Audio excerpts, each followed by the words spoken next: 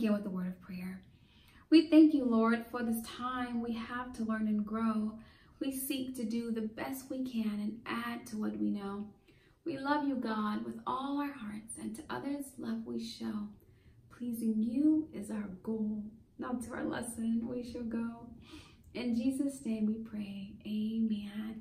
Well, it's so good to have you back. This is lesson 34B and I welcome you. So good to have you. Let's begin with our warm-up song. Are you ready to warm up? I am ready to warm up. Let's. We're going sing our song. It helps us to get ready for the lesson ahead of us. If you're ready to learn, clap your hands. If you're ready to learn, stamp your feet. If you're ready to learn, if you're ready to learn, then come and sing with me. If you're ready to learn, clap your hands, clap, clap. Ready to learn, stamp your feet, bum bum. If you're ready to learn, if you're ready to learn, then come along with me. Yay! We are ready to learn. We are ready to go. Good stuff. So let's begin by talking about our CVC words again. We talked about CVC. C means consonants. V, vowel, and C is consonants. That means that you're going to sandwich a vowel in between two consonant letters to form a word. So you, that's what we've been doing. We've been working on CVC words quite extensively over the last few, several uh, lessons and weeks. But it's really uh, good to know how to write these words so that you can use them in your own writing. And it's a lot of fun. The uh, short vowel sound we'll be working with today is eh. So be sure to circle that at the top. You see that border? Circle that in your workbook. We're on page seven. So let's go ahead and begin by writing some CVC words. Let's start. So the very first image you see is that of a hen. N, N, hmm, N. What is the very first sound we hear? Do you remember what letter makes that sound? The letter H, yes. It is the voiceless letter. Okay, so we have, and we also have N, N. Well, we know there's going to be an E because our, our vowel of the day is E. N, n. Do you hear the N? Do you know what letter makes the N sound? N, N, N is correct. N, N, hen. And also keep in mind that our word families here. You remember talking about word families? Yes, we spent quite a bit of time on that. Hen, N, hen. That's how you spell the word hen. Good job. Be sure to write this down in your workbook as we're going along. The next image we see is, ah, a married couple. They are newly wed. W, ed, w, ed, w, ed. Can you hear those sounds? Yes, those phonemes are coming together to make the word wed. W, w, ed, wed. So let's write this down. We have w, that's the first sound. What letter is that? W, w, w. W is correct. W, w. And then we have ed, ed, e, e, e, e, e. D, d, d, d. Good job. Wed. Wed. And there's another word family here. Um, we talked about in the past, ed, ed wed. Good job. Let's see, what is the next picture of? The next picture is that of a jet. Jet, jet, jet, jet. Can you hear those individual sounds? Jet, jet, jet. So let's write that out. The first letter I hear is J, J, J, yes, J. And after J, I hear E, et, e, e, e, and t, t, t. Good job. So we have jet, jet. And the word family that's here is E-T. Do you remember the et word family? Et. And we've talked in the past, but you, when you're using these words in your own writing, just change out that initial consonant letter and form new words based on that. And we've gone over rhyming words that you could use to assist you in that effort in previous lessons, which you can locate in previous workbooks. Go back to your portfolio and look up those words. The section was titled Rhyme Time, and you'll find a host of different rhyming words you can use um, when you're writing in your own journals. And when you're writing in your My Journal um, um, journal time section in your workbook, you can do the same exact thing there. If you need a few more moments to complete this exercise, press pause on your device and you can do that at this time.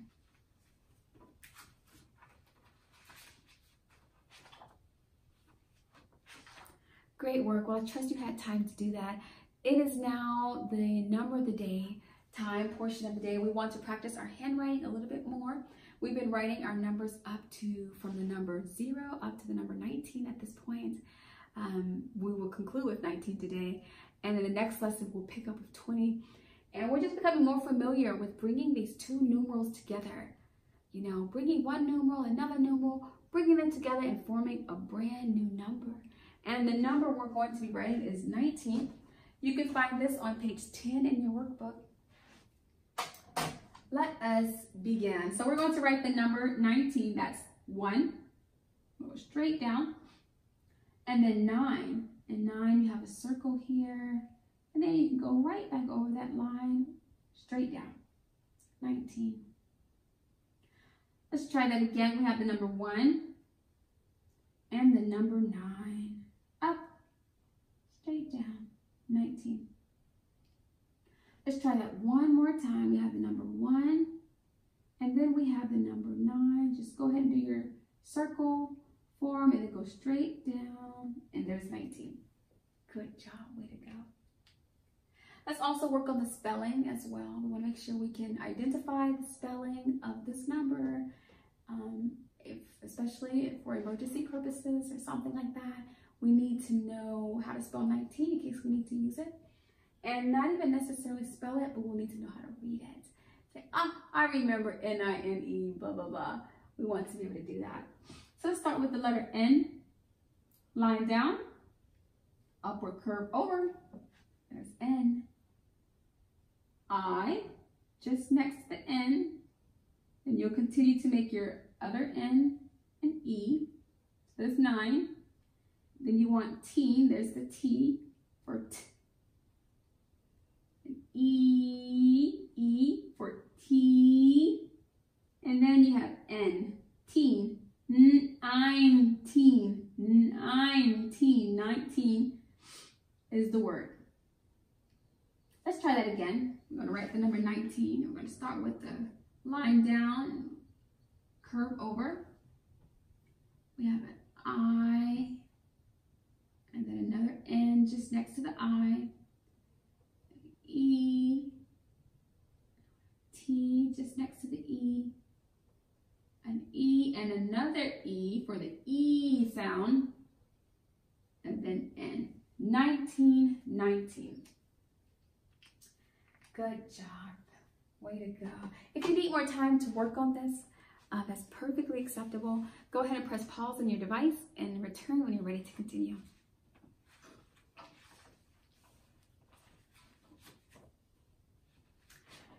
Great work. Well, I trust you had time to do that if you needed to do so. We are now in our Bible journey segment of the lesson. It's a phenomenal time of the lesson where we're able to um, go into our history and find out more about God, more about the qualities that make him God, uh, the way he wants us to be so that we can reflect him. We've talked about several different things. We've even gone over prayers that we can adopt and um, use in our own lives um, we've talked about several things. In today's lesson, we're going to be continuing with talking about the days of creation. We talked about day one, what happened on day one, what did God do when he first started to recreate the planet, the earth as we know it, what happened on day two, what did God do on day two? Then we talked about day three in the previous lesson. And today we're going to be reading a small story about the about day four. You can um, turn to page eight if you like and follow along. I think there's a coloring exercise for this story. Great, so we're still reading in our Bible and we have the fourth day. It says, on day four, God put the sun in the sky to warm the earth. He saw that the night was very dark. So God put the moon and the stars in the sky.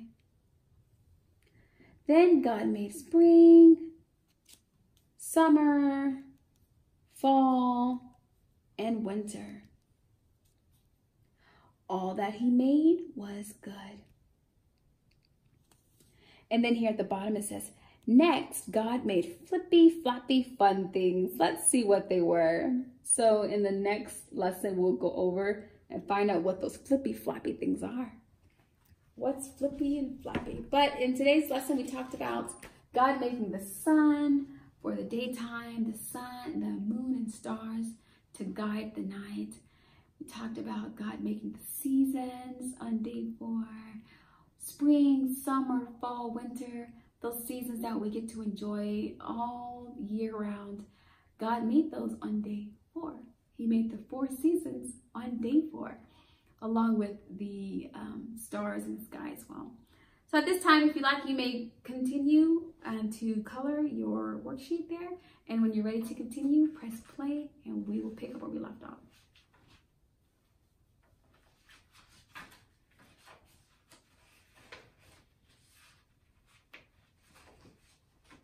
Great work. I'm glad you had time to do that.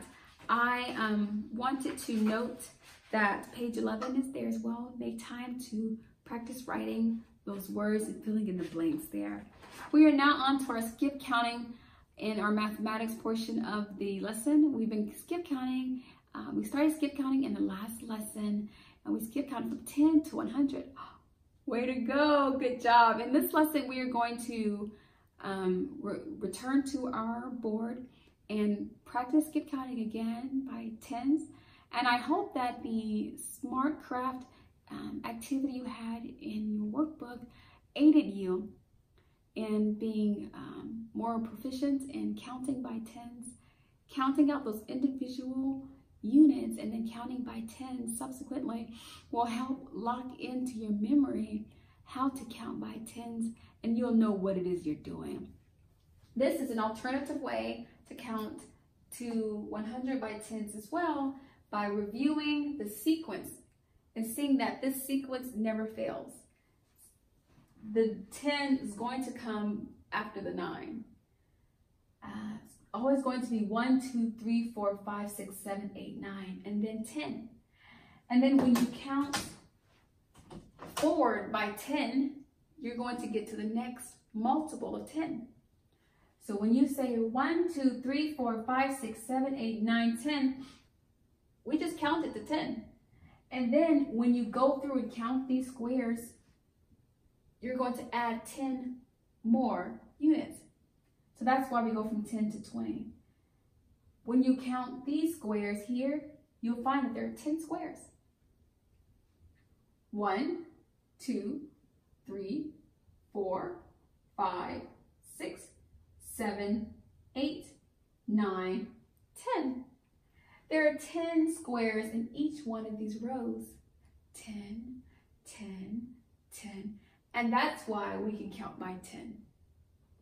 The same thing with the beans or lentils or some small uh, manipulative that you chose for your craft in the previous lesson when you counted out those 10, you found that, oh, after 9 comes 10, and after 19 comes 20.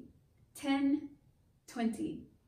And so I want that connection to be made um, between these two are 10 more units.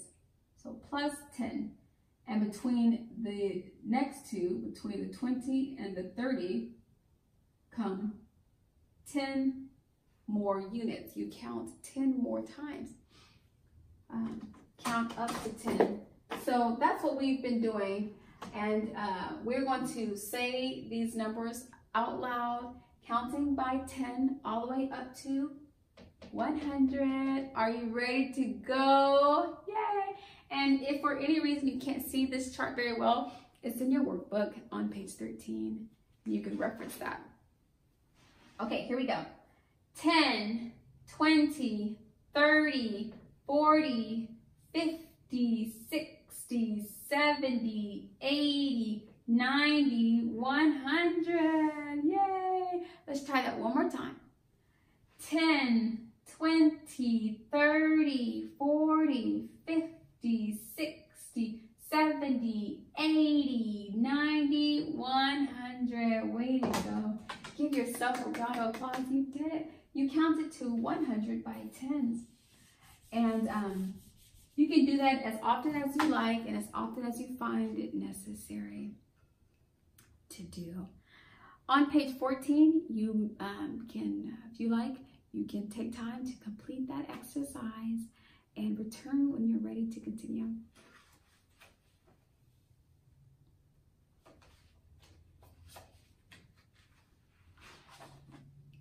Good work. Well, I trust you had time to do that. We are going to be uh, making a joyful noise to the Lord now. We have been singing Go Tell It on the Mountain. It's the song of the week. You can find the lyrics on page 30 if you have the workbook. Um, go ahead at this time, find your instrument of choice, whatever it may be. Bring it out and we're going to praise God together. Great work. So we are ready. Are you ready to sing? Me too. Here we go. Go tell it on the mountain, over the hills and everywhere. Go tell it on the mountain that Jesus Christ is born. When I was a seeker, I sought both night and day. I asked the Lord to help me, and He showed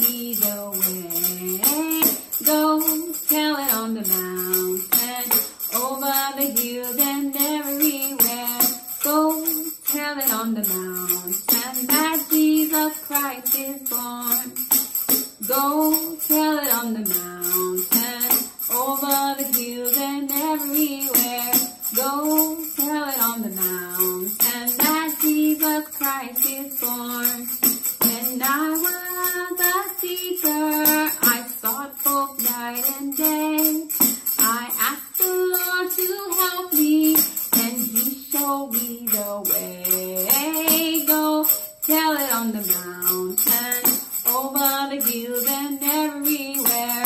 Go tell it on the mountain that Jesus Christ is born. Yay! So go tell it on the mountain. That's a um, song that um, was written with the um, backdrop of the Nativity and when Jesus was born. Go tell it to everyone. Jesus Christ, the Son of God, is born. He's here. And um, so shepherds and white, it was shepherds in particular, they were watching and guarding sheep and they wanted to just tell it to everyone, anyone who would hear. And so they said, go tell it on the mountain. That's where the sun comes from. Well, it is time for our basic skills um, section of our workbook. You can find this in, on page 17. We're, we've been talking about our body. It was said, what, what, what is this body that God has given me? I understand that He wants me to um, use His body for His glory, but what's what's here? What do I have? So, in the previous lesson, we talked about our head. That's right. We talked about our head, and we talked about the different parts on our head. We talked about the hair and the ears and the eyes. And um, in this lesson, we're going to be talking about the part that attaches or connects the head to the rest of the body. The part that attaches this part to the rest of our body. Do you know what that part's called? The neck. Yes, I'm talking about the neck. We need this part of our body to connect this to the rest of us. We call it the neck. So I just have this little exercise I wanted you to do. Tilt your head this way. And then tilt your head this way. And then tilt your head back this way. Can you feel your neck? It is moving from side to side. And now if you like, you can rotate your neck all the way around. Whoa. We're doing a rotation of our neck. Whoa. And it feels really good. Whoa. We've just experienced uh, our neck and uh, movements of our neck. Our neck is responsible for a lot. It has to carry this big thing around all day long. And so we're grateful for our necks. And um, the neck also protects the vocal cords and, and helps us to swallow when you start talking about the throat. And there's a lot that goes into the neck. But just on the outside, this neck is really helpful because it is required to carry this around with your body. Imagine if you didn't have a neck. Well, it's hard to imagine your, your head would be sitting on top of your shoulders. So we, we thank God for our necks, is that right? Great, so if you want, you may take time to review the content on uh, page 17, a little bit further um, after the lesson. But it has been a really great time with you. We've concluded lesson 34B. Oh, we're just moving along. You've had a great time, a great uh, year with you. I've just had a really wonderful time and I thank God for you often. But until next time, goodbye, goodbye. I'll see you next time. Goodbye, goodbye, and may God bless you. Goodbye, goodbye, I'll see you next time. Goodbye, goodbye, and may God bless you. Goodbye, little heroes. I'll be your hero's buddy, and as you study with heroes, boy.